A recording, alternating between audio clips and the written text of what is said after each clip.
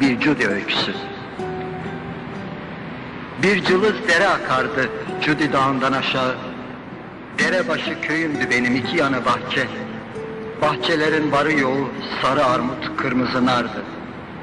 Köyde bir avuç insan, ısım akraba kız kızan, koyunlar gibi sığışır gübre sıcağına yuvaların, yaşamadan yaşardı.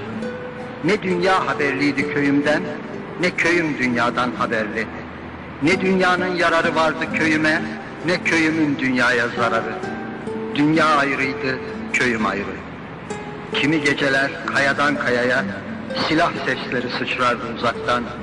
Bir masal devi uyanırdı Cudi Dağı'nda o zaman, karabasan gibi çullanırdı üstümüze. Aç kurtlar gibi çağrısız konuklar inerdi bazen köyümüze. Gecenin koynunda çaresiz yürek gibi çarpardı korkudan evlerimiz.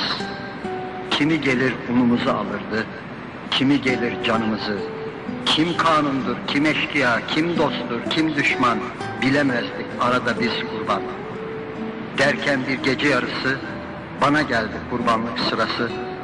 Köyümün koynundan kopardılar, kayalara apardılar, vatan millet uğruna vurdular beni. Dalında kaldı armudumla narım, üç öksüzümle bir de yarim. Cudi dağından aşağı bir dere, hala akar mı bilmem, ara sıra bana türkü yakar mı bilmem.